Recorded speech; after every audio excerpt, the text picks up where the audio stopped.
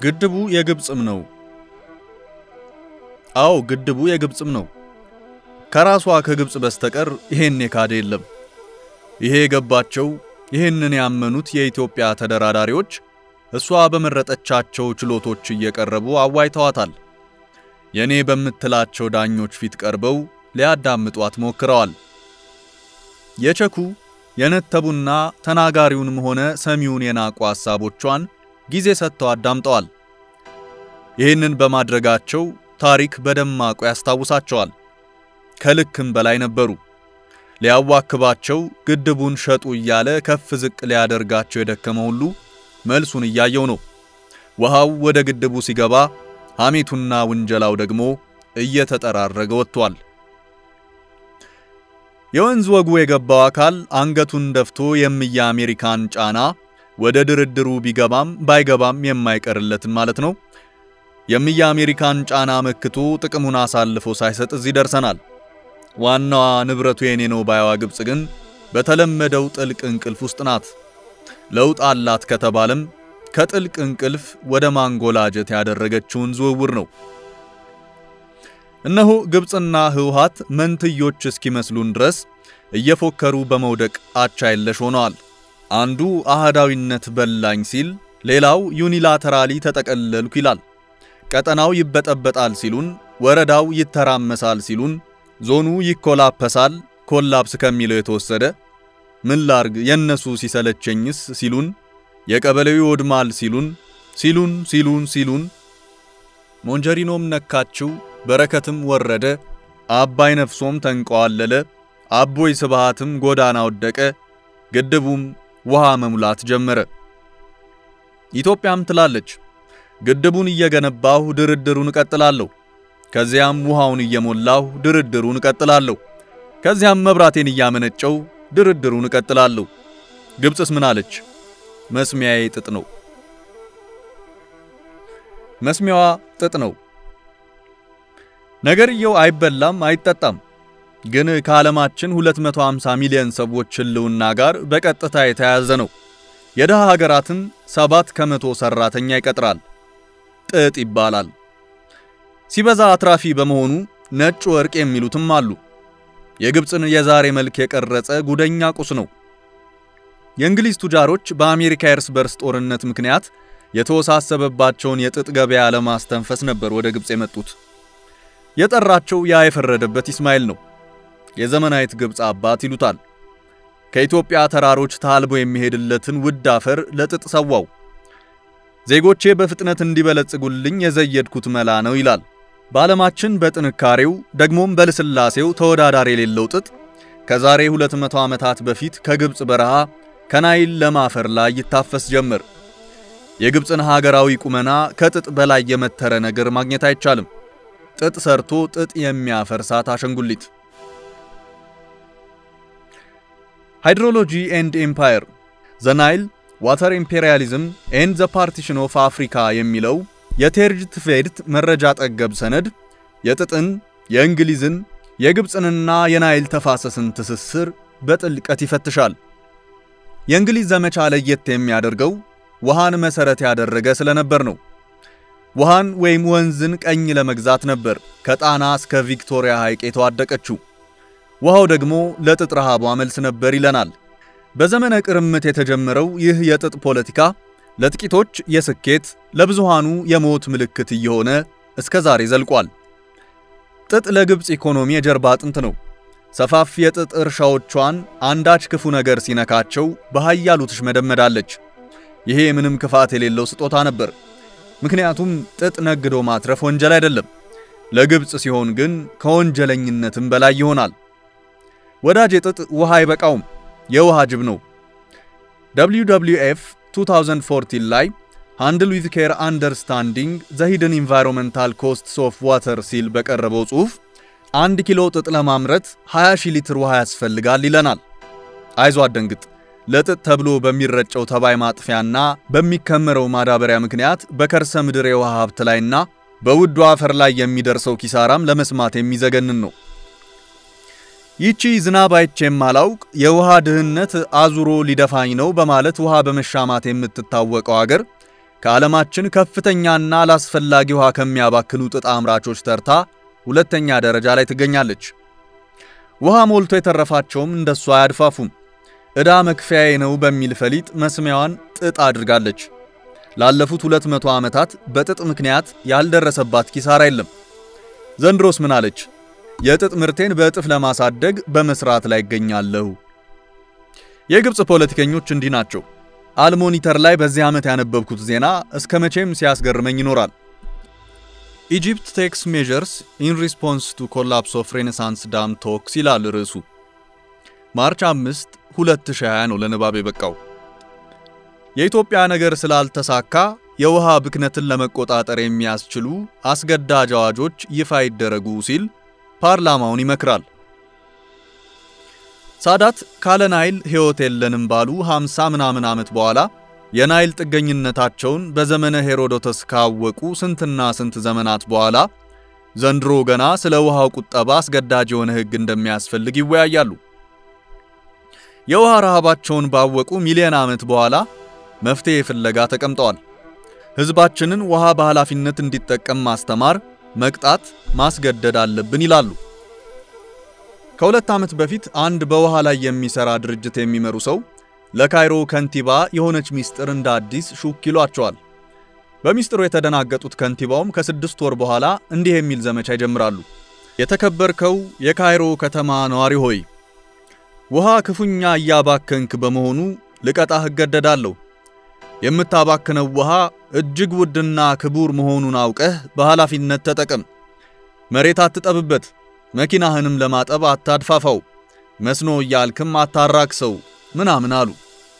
ማሳሰቢያው ባልከፋ፣ ችግሩ የጊዜው መርፈድና የተነገራቸው ሚስጥር አስደንጋጭነት ነው። የካይሮ ከተማ ነዋሪዎች በቀን አንድ ሚሊዮን ኪዩቢክ ሜትር ውሃ ያባክናሉ የሚል ነበር ሚስጥሩ። አንዱን በአንድ ሺህ ሊትር ምታው። ካይሮ 20 ሚሊዮን ነዋሪዎች አላት። በነገር ላይ ከንቲባውም እንደ ሌሎቹ አቻዎቻቸው ቀልዳቸው የተለየ ነው። በዚች ከተማ ውስጥ አንድ ሰው በዓመት 600 ሜትር ኪዩብ ውሃ ይጠቀማል። ድሮ ከኚህ በላይ ነበር። የዓለም ስታንዳርድ 800 ነው። ይሄ የሚያሳየን የውሃ ድህነት ወይም ወተር ፖቨርቲ ከተጣባቸው ተርታ መሰለፋችን ነው ይላሉ ከንቲባው። በሰውየው አነጋገር በቀን አንድ ግብፃዊ በአማካይ 1600 ሊትር ውሃ ይጠቀማል።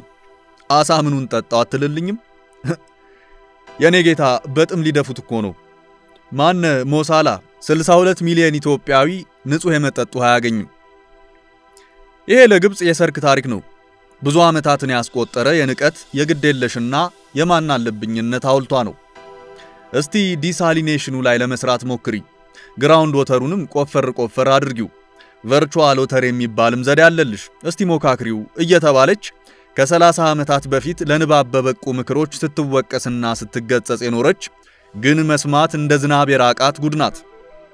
20 ሚሊዮን ሕዝብ በሚመሩበትም 40 ሚሊዮን በነበሩበትም ዛሬ 100 ሚሊዮን ደርሰውም ለ55 ቢሊዮን ኪዩቢክ ሜትር ኮታ የሚሞሻለቁ ሕያው አስማቶች ናቸው። ድንበር ተሻጋሪ ንቀቶች ከሱዳን ጋር የተጎራበቱት በዚህ ባህሪያቸው ተመራርጦ ይመስላል። በሰሜናዊ ሱዳን በመስኖ ፕሮጀክቶች ስም ተመሳሳይ ሞቶች እንደ ጅብራ ተገትረው ይታያሉ። በውሃ ፈጅነታቸው የታወቁ የግብርና ውጤቶችን የማያልቅ ከሚመስለው መሬትና ውሃ ላይ በዘፈቀደ ሲያባክኑ መዋል የእነዚህ ሁለት ሀገራት መለያ ነው። በጉርብትና የሚከውኑት ክሽፈታቸው ነው። Food is the ultimate power parched countries tap the Nile River through farms የጀስቲን ሼክ እና የስኮት ፓተርሰን ጽሑፍ ነው። ከዓመት በፊት The Wall Street Journal ላይ ለንባብ በቅቷል። በአዲሱ ጠቅላይ ሚኒስትር አብደላ ሐምዶክ አንጀት አርስ ንግግር ጨዋታቸውን ይጀምራሉ። ስንዴ ለማስገባት እየተበደርን የከብት መኖ ኤክስፖርት አናደርግም አሉ ይለናል። ትልቅ ወንዝ በግብፅና በሱዳን ያለው የጎርፍ መስክ ብቻ ድፍን ግብፅና imperial ሮምን ይመግብ ነበር። በ2015 መግቢያ የሳውዲና የሱዳን የግብርና ኢንቨስትመንት ውልም 13 ቢሊዮን ዶላር ደርሶ ነበር እያለ የሰሜናዊውን ሱዳን የግፍ ታሪክ ወደ መተረኩ ይገባል። ከአጥባራ ወንዝ ላይ ከተመችው ጃሊን የበረሃ መንደር ናት። ወደ ከተማዋ የሚወስድ ምንም መንገድ የላትም። ከ10 ዓመት በፊት በሳውዲ ባለሀብቶች በተያዘው 100 ሄክታር መሬት ላይ የተተከሉ ግዙፍ 17 የመስኖ ውሃ መርጫዎች አሉ። ያ ውድ ውሃ ያለ ስስት እየተዛቀ ይደፋል። alfalfa ያመርታል። alfalfa በሁለት ነገሮች የሚታወቅ ተክል ነው፣ በከብቶች ቀለብነቱና በውሃ ፈጅነቱ። የአካባቢ ጥበቃ ዘጋቢው ፒተር ሸዋርትስታይን ምድር ላይ ካሉ አምሳያዎች ሁሉ በውሃ በሊታነቱ ተወዳዳሪ የሌለው ይለዋል alfalfa ን ሲገልጸው። ሱዳን ብቻዋንም አንድ ቢሊዮን ሜትር ኪዩብ ውሃ ለዚህ ተክል ብቻ እንደምትገብር ያትታል። ይሄ ውሃ የበቄ ተክል ከዚህ በድህነት ከተጎሳቆለውና ባለቤት ከሌለው ምድር ተመርቶ 400 ኪሎ ሜትር በመሬት ተጉዞ ፖርት ሱዳን ይደርስና 200 ኪሎ ሜትሩን ቀይ ባህር ተሻግሮ ጅዳ ሳውዲ አረቢያ ይገባል። ብዙዎች ያለ እህል እርዳታ አያድሩም ከሚባልለት መሬት ላይ በታጨደ ቀለብ የዱባይ ሰንጋዎች ጠግበው ያድራሉ። ሌሎች ድርጅቶችም አሉ፣ በርካታ አስርተ ዓመታትን ያስቆጠሩ። ድርጅቶቹ ከመንደሮቹ ነዋሪዎች ጋር ምንም አይነት የውሃ አጠቃቀም ስምምነት የላቸውም። Crown Agriculture የሚባል ከፓኪስታን ነው የመጣ ነው በሚሉ ኢንቨስተሮች የሚተዳደር ጀርባው ሲጠና ግን በሳውዲና በሱዳን ባለሀብቶች ስም የተመዘገበ ድርጅት ነው። ሸንዲ ላይ 200 ሄክታር መሬት አለው። alfalfa ውን የሚልከው ወደ ዱባይ ነው። ፈረሶች፣ ግመሎችንና ከብቶችን ለመመገብ ይውላል። የናስር ሐይቁ የቶሽካ ፕሮጀክትም በሳውዲና በዱባይ የሚተዳደር ትልቅ ፕሮጀክት ነው። የሳውዲው Golden Grass Inc ኃላፊ ሲናገሩ ግብፅና ሱዳን ላይ መሬት ሳይሆን ውሃ ነው የምትገዛው ይላሉ። የግብፁ ፕሬዝዳንት ሆስኒ ሙባረክ ነበሩ በ1990ዎቹ ያስጀመሩት። የግብፅን የምግብ ጥያቄ ለመመለስ ብለው ኪፋያቸውን ለብሰው እንደ አርሶ አደር ተውነው በይፋ መርቀው ያስጀመሩት እሳቸው ነበሩ። ራስን በምግብ የመቻል ህልም ነበር። አንቺ ታላቅ ሀገር ሆይ ፈጣሪ በሰጠሽ አፈርና ውሃ ተጠቅሜ በስንዴ ምርት አትረፈርፍሻለሁ ባሏት አስረኛ ዓመት ላይ ግብፅ ከዓለም አንደኛዋ ስንዴ አስገቢ ሀገር ሆነች። ታላቁ ቶሽካም በውሃ እየቀለደ ለዱባይ አለቆቹ የከብቶች መኖ ኤክስፖርት አድራጊ ሆኖ ቀረ። ግብፅ ከ fresh ውሃዋ 85% ለእንዲህ ያሉ የእርሻ ፕሮጀክቶቿን የምትጠቀመው በተለይም ለሁለቱ የገልፍ ሀገራት ከፍ ዝቅ በማለት ለሚታወቁት መሪዎቿ ነገርየው ለጽድቅ እንደሚያበቃ ስራ ይቆጠራል። ሳውዲና ዱባይ እስከ 160 ሺህ ሄክታር መሬት በግብፅ ውስጥ አላቸው። የኒውዮርክን ሁለት እጥፍ ማለት ነው። ውሃ ፈጅ የሆኑትን እነ በቆሎ፣ ድንች፣ ስንዴ፣ አልፋ አልፋ፣ ገብስ፣ ፍራፍሬ በተለይ ወይን ያመርቱበታል። ከዘፍጥረት ጀምሮ የግብፅ የዳቦ ቅርጫት በሆነው የናይል ሰሜን ዳርቻ በካይሮ ገበሬዎች ከአንድ ሄክታር የበለጠ መሬት ያለው የለም። እሱንም በእነዚህ ግዙፍ ፕሮጀክቶች ምክንያት በብክለትና በውሃ እጥረት ምርት መስጠት እያቆመ ለችግር ይዳረጋቸዋል። ኢስማኢሊያ፣ ዳካህሊያ፣ ካፍር አልሸይክ፣ ሻርቂያ ፋዩም፣ ዳሜታ ወዘተ የተባሉ አካባቢዎች ወደ አስር የሚጠጉ በየዓመቱ በውሃ እጥረት ምክንያት የእርሻ መሬታቸው ሥራ ባቆሙ ገበሬዎች አመፅ የሚታመሱ ከተሞች ናቸው። ላለፉት መቶ ዓመታት ከ December መግቢያ እስከ January ማለቂያ በከባድ የውሃ እጥረት መሰቃየት ለግብፅ የተለመደ ቅጣት ነው ይላል ሙሐመድ ኤል ሰይድ Finding a Solution for Egypt's Water Crisis በሚለው 2018 ላይ የቀረበ ጽሑፉ።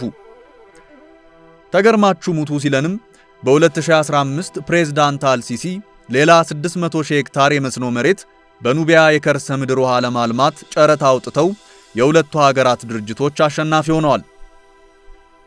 በነገራችን ላይ ለእንግሊዞቹ የጥጥ ፍቅር የተሰዋው ታላቁ የጌዚራ መስኖ ፕሮጀክትም እዚሁ ገደማ ይገኛል። አንድ ሚሊዮን ሄክታር ያካልላል። ለዚህ ከአፍሪካ ታላቅ ለተባለው የጥጥ እርሻ ኃላፊነት በጎደለው መልኩ የሚባክነው ለምሳሌ ባረጁት ቱቦዎች ምክንያት የሚንጠባጠበው ውሃ መጠን ከናስር ሐይቁ ጋር ሲደመር ከ10 ቢሊዮን ሜትር ኪዩብ በላይ ይሆናል። ይሄ ማለት በግርድፉ ሊባኖስን ለሁለት ዓመት ጥንቅቅ አድርጎ የሚያሳድር ውሃ ነው። የህወሓት ማፊያ ቡድንም ሰንሰለቷን የዘረጋችበት ገጽ ነው። ሌላ ጊዜ እንጨዋወታለን ከምርጫው በኋላ። እንደው እንደ ህወሓት ለዛ ቢስ ፍጥረት አለ? በሳቅ በደሉን ሁሉ አስረሱን እኮ። በየዓመቱ ግብፃውያን 150 ሚሊዮን ቶን ቆሻሻ የፋብሪካ ተረፈ ምርት ደረቅ ቆሻሻ ወደ ውድ ወንዛቸው ይጥላሉ። በርካታ ፋብሪካዎች የቆሻሻ ማስወገጃቸውን በቀጥታ ከወንዙ ጋር አያይዘውታል ይላል Mighty Nile River Threatened by Waste Warming and Giant Ethiopian Dam የሚለው የፋሪድ ፋሪድ Japan Times ላይ ለንባብ የበቃው መጣጥፍ። ለፍቅርም ጊዜ የለ። በናይል ጉዳይ የግብጾች ነገር ለምንም አይመችም። ለሳይንስም ለጥንቆላም ለግምትም የማይመች አድርገው ራሳቸውን ቀርጸዋል። ይሄ ለዘመናት ያልተበገረ እንደ ተራራ ከሩቅ የሚታይ እንደ ሰማይ ከቦታው ፈቅ የማይል ድርቅና ብዙ ነገሮችን ከጥቅም ውጭ አድርጓል። የላይኛው ተፋሰስ ሀገራት በተለይም የኢትዮጵያ አይነቱ በደልና ግፍ በተደጋጋሚ ስለተነሳንቶ ግብጽ በዚህ ችኮነቷ ምክንያት ሌላ አሳዛኝም አስደንጋጭም ኪሳራ እንዲደርስ እያደረገች ነው። ብዙዎቻችን የምናውቀው ግብጽ ከናይል ውሃ የአንበሳውን ድርሻ ማለትም እስከ 85 ከመቶውን እንደምትጠቀም ነው። በእርግጥ እውነት ነው። ይህንን ሐቅ ግን ከሦስቱ የተፋሰሱ ሀገራት ወጣ አድርገን ስናየው ከመራር ሐቅ ጋር እንፋጠጣለን። አስራ አንዱ የናይል ተፋሰስ ሀገራት ውስጥ ከሚዘንበው የዝናብ መጠን ግብጽ ጋር የሚደርሰው 0.8 ከመቶ ብቻ ነው። ሀገራቱ ከሚያገኙት 99 ከመቶ ዝናብ የትም ባክኖ አሊያም የአቅሙን ያህል ጥቅም ሳይሰጥ የሚባክን ነው። 7000 ቢሊዮን ሜትር ኪዩብ ዝናብ በየዓመቱ ከሰማያቸው ይታለባል። ከዚህ ለቁጥር ከሚከብድ ሀብት በራሷ ገፊነትና ተናካሽነት 55 ቢሊዮን ሜትር ኪዩብ ብቻ ነው የምታገኘው። ከዚህ ባህር ውስጥ የወሰዷትን የማንኪያ ሀብት ለማስከበር ኮታዬን አትንኩብኝ እያሉ ይህንን ሁሉ ሀብት ማባከን የስልጡን ሥራ አይደለም። ይህንን እንቁ ሀብት በጋራ ማልማትም በሰላም ተካፍሎ ማደር ይቻል ነበር። ለዚህ አለመሳካትም ሁሉም ሀገራት ተጠያቂ መሆናቸው እንዳለ ሆኖ የግብፅ ስህተት ግን በብዙ ምክንያቶች ከፊት ይጠቀሳል። ግብፅ እጅግ አሳዛኝ ጥፋቶች ፈጽማለች። ለዜሮ ድምር ስሌቶቿ እንቅልፍ ታጣለች። የትብብር መንገዶቹን ሁሉ ዘግታቸዋለች። ዛሬም ትላንትም ለዚህ ምስክሮች ናቸው። ግብፅ ማለት የናይልን ጉዳይ በወጉ ሳትይዘው የናይልንና የኮንጎን ወንዞች ላገናኛቸው ነው የምትል የቧልት እመቤት ናት። ይህንን አድክም ፕሮጀክት በ1980 አንዋር ሳዳት ነበር ደመቅ አርጎ ያወራው። ባለሙያዎቹን ሁሉ ልኮ አስጠንቶ ነበር። አልሲሲም በ2013 ገደማ ሽዋላቸውና የሚስቀው ሲበዛ ተዉት። አጥኑልኝ ያሏቸው ሳይንቲስቶች በሀያ ግዙፍ ችግሮች ምክንያት ነገርየው አይሆንም አሏቸው። ሀያ ግዙፍ ችግሮች ካሉት ስንት ጥቅም ኖረውት የሆነ ያሰቡት? ይሄ ጨዋታ ትንሽ ዕድሜው ረዘም ይላል። ታዋቂው በሱዳን የግብፅ የመስኖ መሐንዲስ አፓታ ፓሻ በመጽሐፉ 1902 ላይ ጠቅሶት ነበር አሉ። አልሞኒተር ሲያሾፍም ከአፓታ ጋር ሞቶ ነበር ይለዋል። ሳዳት ግን ትቢያውን አራግፈው እንደገለጡት ሙባረክ መጥቶ ገደላቸው። አልሲሲ ታዲያ እንዴት ተረፉ ለሚለው ጥያቄ ምርጥ ጦረኛ ናቸው ይላል ያየ ሰው ሽመልስ ፓሻ አፓታ። እና አልሲሲ ይሄን ሁሉ የሚሉት በ600 ኪሎ ሜትር ካናል የኮንጎን ወንዝ በደቡብ ሱዳን በኩል አስቀይሶ በሰሜን ሱዳን አሳልፎ ወደ አስዋን ግድብና ወደ ሲናይ ግራና ቀኝ ለመውሰድ በዚህም ከአሁኑ እጥፍ የውሃ መጠን ለማግኘት ነው። አልሞኒተር የውሃ ሚኒስትሩ ጋር ደውሎ እንዴት ነው ይሄ ነገር ይነፋል ይላቸዋል። ወንዞችን ያለ ተፋሰሳቸው ጠልፎ በሌላ ተፋሰስ ማፍሰስ እኮ በዓለም አቀፍ ሕግ የተከለከለ ነው ብለው ትርፍ አሉ። ይህንን ረስተው ነው እቅዱን የሚያወጡት። ውድ ቤተሰቦች አሁን ያቀረብንላችሁን ጽሑፍ ያደረሰን የፍትህ መጽሔቱ አምደኛ ዋጋ ይለገሰ በመጽሔቷ ቅጽ 2 ቁጥር 89 እትም ላይ ነበር። አብራችሁን ስለነበራችሁ እናመሰግናለን። ከቀጣይ መሰናዶቻችን ጋር እስክንገናኝ ቸር ቆዩን።